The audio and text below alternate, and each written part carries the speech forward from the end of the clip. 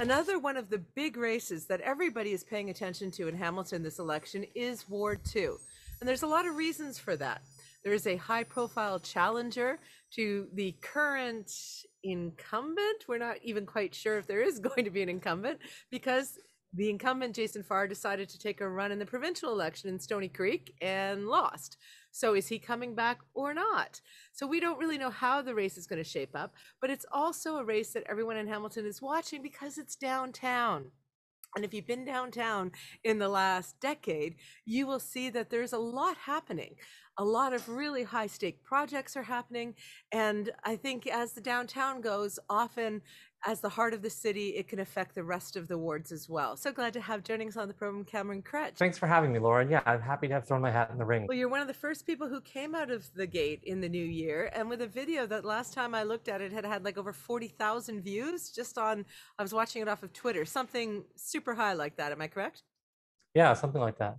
So that just shows me that there is a real appetite for the kind of candidacy that you've been bringing forward. You know, putting out a video early, this kind of enthusiasm, this kind of happy warrior vibe. You know, um, and we we've seen lots of that from you. But I wanted today to go through the platform which you just released today. And that platform has in it some really interesting comments from you. So if you could just tell our viewers right out of the gate, Cameron, what are the eight areas, I believe there's eight, of your platform just by name. And then I want to kind of unpack them with you and challenge maybe some of the some of the language you used. Sure thing. Um, the first one is environmental stewardship, uh, followed by affordable housing, accountable leadership, safe neighborhoods, a dependable transit, of course, community engagement, responsive services, and sustainable growth. You mentioned something in transportation where you say time's up, like no more 10 year strategy. Uh, and and given Cameron what's happening with the two way streets and another terrible car accident this past weekend, mm. can you effectuate change faster than maybe the city had planned? I think the reason I mentioned Time's Up, it first of all harkens back to the, the climate movement, right? Uh, people have been calling on improvements to transit in our community. It was first the 10 year transit strategy, then became the 11 year transit strategy. Um, we can't afford to wait to improve transit. We can't afford to wait to improve our streets in general. As you're alluding to, there have been um, more than a dozen pedestrian deaths in Hamilton. Um, we can't continue to sit by and allow that to happen. And we can't continue to sit and wait for report upon report upon report. Um, if it's a matter of providing resources to support climate and climate resiliency in Hamilton, we have to dedicate those, those resources. We can't say there's a climate emergency and then say we have to wait a year or wait two years or wait three years to get an answer. Um, right now, um, we're talking about turning Main Street to two ways. And that was a motion that was passed. And it's been, I think, maybe almost six or eight weeks. And we still don't have a sense of what those interventions are going to be. And I know the councillors who moved that are working hard. And I know staff are working hard. Um, but we're going to have to do things differently if we want to meet the challenges that are coming. There's huge challenges coming our way. Downtown is changing dramatically. And we can't continue to wait. We can't continue to do things the way we're doing them now. So is that realistic though? I think we have to start by being proactive. We know change is coming. We've known for years, sometimes decades, that things are on the horizon. But some, for some reason, the city waits until the very last minute, um, waits until the, the very last uh, possibility, possible time to vote, uh, and then there's a reaction, and then staff begin to get to work. We saw that happen with LRT, the dithering back and forth for 13 years. We need to realize that there are best practices out there in the world, that Hamilton can do things. We can be a beautiful, wonderful, better city. And mm-hmm. that means sometimes saying, okay, great, we've got the evidence we need, we have to move on this. It doesn't have to be the complete project completed right out of the gate. I get that, it's totally unrealistic. But what we have to do is say, what can we accomplish today? What can we know today? What can we communicate to residents today, right? Mm-hmm. And start with chunking those things. Because right now I know that there's a list sitting somewhere that would tell most residents what kinds of changes they'd look to be implementing on Main Street West, Main Street East and people want to know what those are. So we can start there. And again, this has been a conversation that's been on the table for a long time. So I think a whole generation in the city talking about Main Street. So there's no need for us to be waiting until the last possible moment, until people have to lose their lives before we make a decision and before we act. Let's talk about affordable housing because you are right in the epicenter of development. I mean, the cranes are all over downtown. There's condos popping up everywhere. They are, yeah. Uh, how do you balance taking advantage of this moment of development and growth for our city that we've waited for decades for and still keep it equitable and inclusive as a city? We can't push Hamiltonians out. That's what I would say, and that's what I've said. We can't push them out. We've seen change coming on the horizon for a long time now. Um, in the last five plus years, we've known about these cranes coming, and now they're here. We've seen this over the decades in Hamilton. We saw it when they tore down a big section of the downtown uh, many decades ago. That change comes. That's a thing that happens. We're prepared for it. And that's not a bad thing. But how we manage that change matters.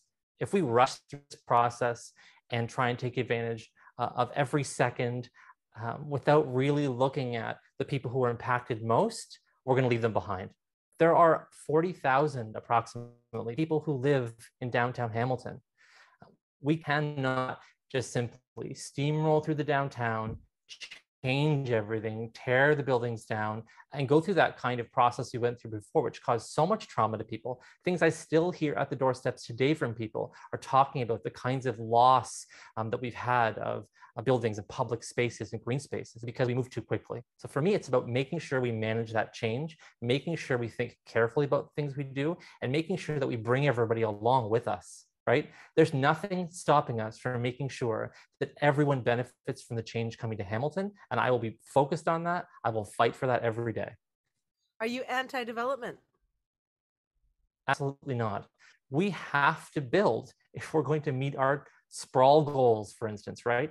Um, I can't be someone who's sitting here talking about stopping sprawl and building inside the urban boundary, but also saying, well, we're not going to build anything. I think there's a, a lot of potential for a ton of mixed development in the downtown core. The city right now is sitting on about a thousand acres of unused land. 100 acres or 200 acres of that would have an incredible impact on a gentle density, a missing middle kind of housing, and allow us to combine that with splitting houses up into duplexes and triplexes and quads, um, building some high-rise housing in locations where it makes sense, having that mix, making sure we have all kinds of housing at all kinds of affordability levels, from the deep affordability to market affordability. And the city can play a role in that. We keep doing this thing where we say, well, we'll talk to the province, we'll talk to the federal government about it and see if they'll help us solve this problem. Cool, they probably will help us solve the problem, but we're gonna have to come to the table with a plan. What are our assets? What do we have right now? The answer pretty, you know, pretty uniformly is we have some land. We can either sell that land off that we'll never get back, or we can leverage those assets, leverage that land to build housing and to develop. And so we need people out there in the trades. We need people building. We need developers to plan these things. That's a necessary part of what's happening in our city and especially downtown. What happens when the tents come up this summer, Cameron? Uh, more and more of them, I, I imagine. Well, a couple of things come to mind. One, I go back to what I said earlier about affordable housing and about making sure our land assets are being used appropriately, making sure we're looking at what we have as resources as a city to be able to help with this problem. Firstly, I think it's about compassion. Um, right now, people are running scared. Um, there's no better way to put it. They're, they've left the places that they were hanging out normally, where they felt safe, um, where they were living, um, and they've gone off into places which are more remote, harder to access, I've personally been out there up the escarpment rail trail, seen and spoken to folks, and the concerns are real for them, um, especially if they've got an injury or they have a disability and they're having trouble getting around. Um, things are a lot more precarious for them in that spot. What if they need treatment or help? How does someone get to them? How do volunteers help them? So having people pushed out of these spaces into areas where um, they don't have the support they need isn't helping anybody when I've spoken to Hamiltonians at the door, especially down in Ward 2, a lot we knocked all through June, consistently what I hear from people is the same thing over and over and over again. They want to see a solution. They feel compassionate. They want to understand what the city is going to do to take care of people. And they don't want to see them chased from park to park. They don't want to see their belongings scrapped and put in the back of a truck, right? They don't think about this as a game. They think about this as people's lives and they care deeply about it. Um, I have only pretty much heard that um, when knocking on doors. A couple of times people raise concerns, and the more we speak about the root causes of affordable housing, the more they agree that that's where we have to start. This is not about tent encampments. This is about affordable housing. And there's lots of blame to go around for why we're here. 20 years of not investing in housing, 20 years of letting the market um, take over, and 20 years of watching buildings crumble has put us where we are. Nothing was more heartbreaking than watching people living in tents across from the Jamesville development, which was fenced off and closed for three or four years, just sitting there idle. And there may be good reasons for why that happens, but we can't, the disparity is jarring when we look at that. Um, there has to be more we can do. I know there's more we can do because I know we have lands to our disposal that we can use. I know that we see groups like Indwell, Kiwanis, continually coming up with creative solutions to these problems, continually finding ways to do it. If these organizations can do that with way less money and way less assets, what is our excuse? What is our excuse for not leveraging all the all that we have to try and make sure we're leveling the playing field, making sure there's housing for everybody at no matter what your income level is? Downtown is often a test to the vitality of an entire community. So, how do you balance your own feelings around environmental stewardship and around transportation priorities and around equitable um, development with the needs for the broader city? I think you're right uh, by saying that the downtown is f- something focused on by many people. We have a lot of huge city assets here. This is where people come to enjoy watching sports a lot of the time it's where people come to enjoy the waterfront area, right? It's where people come often to experience that downtown vibe, to be out in restaurants and doing that kind of thing. So people have their eye on downtown, right? And people are coming here sometimes for a single purpose, then leaving. What I'm focused on too is balancing that between the folks that are coming here to enjoy the downtown and enjoy the assets that are down here, and the people who live here day in and day out. Nothing is uh, more poignant, I think, than the kind of cut through traffic we have from trucks on some of our local neighborhoods. And the council did a good thing um, with the truck route reboot, people really pushing hard uh, on them to sort of rein that in a bit. Um, and that was a really great example of, first of all, neighborhood engagement and, and listening to people who live here. Um, but it was also um, an important iconic moment because what we saw was okay there's an acknowledgement a wider acknowledgement that yes these, these trucks are having an impact on neighborhoods and yes um, communities are being impacted. And i think that when we look out to the larger larger city of hamilton i hope that every single councillor sitting around the horseshoe kind of takes a hint or a note from the tone we saw in this term of council and see how much residents don't like it when people start identifying a ward with themselves. I've been at so many council meetings, I've seen tweets where councillors refer to the area where the residents they represent live as their ward or my ward. I think it's a really toxic mentality. And I think it spills out not only um, on the council table, but out to the community too, right? Where people are going around um, acting as if they're the uh, fife leader of the, of the ward they're in. All the stuff we're seeing swirling around Terry Whitehead and all the dysfunction we're seeing and all the toxic stuff going on at council. What are you going to do differently? A couple things. I want to expand the hours that we operate. Um, that means, of course, expanding our office staff to accommodate that, be available for people. Um, if they want to reach us on a weekend um, or an evening, uh, and also the methods in which they communicate. If they want to reach us on Twitter or Facebook or Instagram, they can do that, right? The ability to connect in a way that's accessible for them. So firstly, it's about the methods and about expanding some of this, but it's also about speaking out in public when things are happening, right? So just as much as I want to receive feedback from residents that way in as many forms as possible, as accessibly as possible, I have to be doing the same thing, right? Outwardly.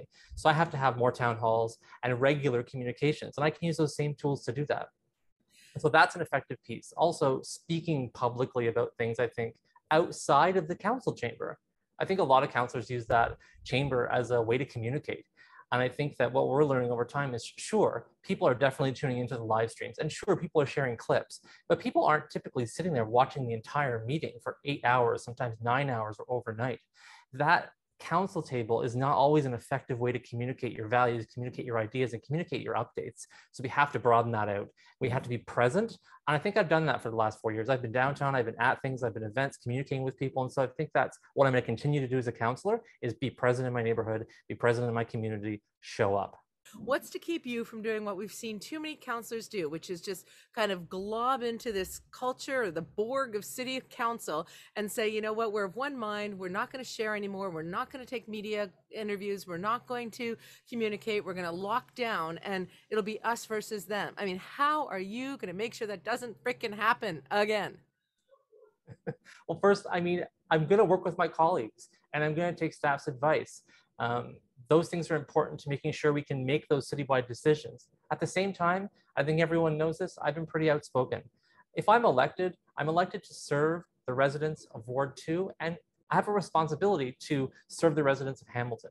If something happens, like a Cootes Paradise spill, like we saw that cover up and scandal, like the Red Hill Valley Parkway, I hope residents know, based on my track record, that I will stand up and I will say something and I'm willing to face the consequences of that because at the end of the day, we have to make sure that the residents that elect us, that put us in those chairs, are the ones that hold us accountable. And that's why I'm out there making sure that the people I'm accountable to are people in my community, people in my neighborhood, people in Ward 2, and people who are out there doing the same kinds of things, fighting for social justice. I'm not accountable to other people, I'm accountable to them, and I'm gonna make sure that I serve them for the entire four years I'm in office. Then what happens, and I have to play this, I have to play this out with you because I get Sure, to talk to a lot by of all means.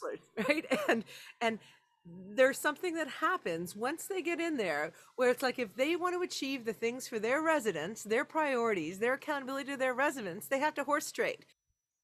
Well, a couple things about that. I think firstly, we're seeing there's going to be quite a bit of change on council. So the status quo we've been used to up to now, where um, we've seen a lot of horse trading as just the status quo for politics, what goes on behind the scenes. Um, I think we're going to see a shift. Um, I don't know how much of a shift that will be, and I can't speak to what exactly that will look like, but we've already seen councillors stepping down. And we know there's going to be some tough races ahead, and I think it's going to see quite a bit of change on council, maybe even a majority of change. So this is an opportunity to usher in a new era on city council, a new era for the city. And I think that's the first thing that I want to say about how we might respond to and do things differently when we're there. But of course, there are going to be compromises, and I'm not a past compromising. That's totally okay. Um, but I think what we're going to have to do as a, as a council is, is understand that um, each one of us has both a priority to the residents, but a collective responsibility to the whole city. Um, we can't be treating these things um, like they only matter in our neighborhood, that they only have an impact where we are, or that it's our ward, right? We have to start turning our minds outward and having conversations. And I think by inviting Hamiltonians into that conversation, by engaging with Hamiltonians, not only will I be holding my council colleagues accountable for things like that, but so will they, right? And that's what we've seen Hamiltonians step up and do is they've said, look, this is an important issue to us. We want to hear about this. And they're going to show up and they're going to hold everyone at the council table accountable. For sure, there are some things I'm just not going to be able to talk about because they're either legally impossible to talk about or because it doesn't make sense to talk about them right away. And I get that and I respect that that's going to happen from time to time. But where I can, I'll be getting out there, making stuff known, and I certainly won't be um, quiet if there's an issue that's impacting people in my neighborhood, people in our community, and people across One of the things that I, one of the things I liked about your platform, the way you wrote it, is that you had the why in every statement, right? And I've often said to counselors, just tell us why you can't tell us, and we will respect that. You know, providing that you're not abusing the in-camera privilege, um, which Hamilton Council has done. Uh, but not telling us anything, not responding to phone calls, burying your head in the sand, not making statements on public things that happen. Uh, waiting for, I guess, the mayor to do it, who never was doing it, and Fred's gone now. So in the past, uh, you know, hopefully going forward, we'll have a mayor that speaks on behalf of council. But if the mayor doesn't, whoever the mayor ends up being, Cameron, and there's something like a violent attack at Pride, or there's something like these, these terrible things happening with our streets, or something else happens where citizens are begging for leadership, would you be the kind of candidate that would issue a statement? I will absolutely speak out. The minimum requirement seems to be right now absolute silence. When you look on an agenda and you see an item is marked down for in camera, it often just gives a very vague title. I'm going to be advocating that we actually put descriptions down there that tell people what the issue is. There's always this presence or notion or idea that something is in camera or something is confidential and that we can't share it. And there's this cloud cast over the entire issue. But as you get into issues, and as I have, um, and I've put FOI requests and other things in, um, you find out that actually parts of the information can be shared. So I'm going to be advocating to make sure that as much information as possible becomes transparent. And if other members on council don't want to reveal these kinds of things to the public, things that could impact their health and their well-being, know that I will definitely speak up and I'm prepared for the consequences of that. We cannot have another situation where we're having members of our community going into water where there's contamination and holding our tongue because a lawyer says we should. That's people's health, people's safety at risk. And I'm not going to put that at risk. I'm not going to put Hamiltonians at risk. You say in one of your platform areas about the service delivery quality that you're going to provide. And you say good enough isn't good enough, and that your team is going to provide excellent service, and that Hamiltonians pay for and deserve excellent services across the city. Uh, and that you will report on things and you will keep them accountable. And that sounds amazing. However, aren't you setting the bar so high that you are just asking for a, a, ton of criticism the second that you guys drop a phone call or you know publish something with a typo in it. Excellent service doesn't mean perfection right? To me excellent service means meeting people where they're at making sure you're providing as many services as you can and continuing to advocate for what you can't you know, if you're wrong, you make a mistake, you apologize. You have some humanity about that. We're all going to make mistakes on this job. I'm going to make mistakes on this job. But excellence doesn't have to be about perfection. I think it really has to be about focusing on the needs of the people around you and making sure you deliver those. As someone who has been in this community, who has been listening to people for years and years, um, and who is understanding the things they have problems with, the things they wish could be better, I think I have an understanding of what that excellence looks like, right? And sometimes it's just reaching out a helping hand. Sometimes it's just listening or sometimes it's just being available, um, you know, past four o'clock on a Friday, or being available, um, having staff be available on a Sunday to to listen to someone's concern and get back to them about their issue. Um, a lot of concerns residents reach out with are, are sometimes easily solved. There's complicated stuff that happens, um, but sometimes it's just a matter of not being able to find a resource. Um, so I'm committed to making sure we do an awesome hiring search, get some people in there who really want to engage with residents, because I think it doesn't stop at the phone call they give you. It's got to be you going out knocking on doors, you making phone calls, and you continuing to engage with residents to make sure they get the service they deserve. So last, any last thoughts, any last message you want to communicate? Is there a website where people who are watching this can find out more about your platform? Yeah, my platform's up right now at cameronforward2.ca slash platform. Um, all eight priorities are there and we have about 70 policy items. You can read them in detail. Anyone has questions about it, they can reach out to me. I want people to know that we can have a better city. I think so many of our leaders have shown us or told us that um, the city we have right now, some of the services we get right now are what we deserve. Um, the status quo is, is good enough. And it's not good enough um, we deserve to have a city that's as good as any other place, that's the best city in Ontario. And all we have to do, I think, is harness that power of working together with a new council, dream a bit bigger, and make it happen. I love it. I love the dream a bit bigger. you know, we have so much potential. Uh, and just listening to you running for the downtown ward, so much of that potential might be coming through you as the councillor. And uh, so thank you for giving us a very nuanced and honest take on how you see your role as that downtown councillor and what you think the priorities are going forward for both your ward and for all of the residents of Hamilton. And if you've been enjoying this content, uh, subscribe on YouTube. We'll keep getting it to you. And most importantly, vote. Bring a friend. Talk to your family. We need to have big voter turnout on October 24th. The only way that we guarantee we can have the kind of changes that we all want and that we're all talking about. Cameron Kroetsch, uh, thank you so much for being on the O Show and for being always, even before you were a candidate, one of the voices that people trust on the issues that they care about. Thanks for doing the program. Thanks, Laura.